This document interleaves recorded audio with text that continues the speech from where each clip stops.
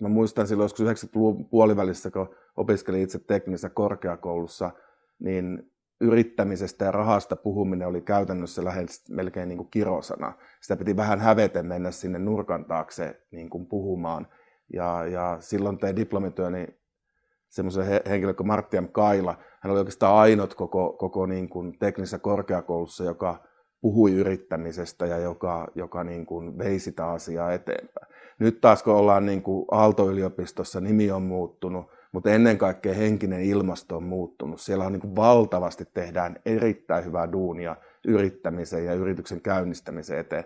Et kyllä täällä Suomessa niin kuin sen yrityksen käyntiin lähtemisen osalta ilmasto on niin kuin älyttömästi muuttunut. Mutta se, mikä on edelleen niin kuin haaste mun mielestä, on se, että Suomessa niin kuin pelätään aika paljon epäonnistumista ja silleen niin kuin tyydytään aika vähän, että joku 10 miljoonan liikevaihdon yritys on, on jo kova juttu ja sitten niin kuin se on siinä. Ei, ei niin sitten se myydään pois tai eletään sen kanssa.